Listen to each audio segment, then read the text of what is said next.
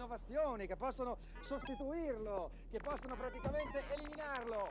Toito!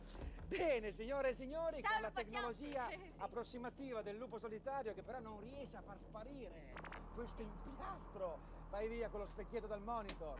Cominciamo, signori, verifichiamo tutti i soliti nostri complici, tutti i collegamenti che si sa sono in atto quando il lupo solitario comincia a trasmettere. Il primo dei collegamenti è con i nostri complici ufologi. Vediamo se hanno scoperto qualcosa Naso? questa sera.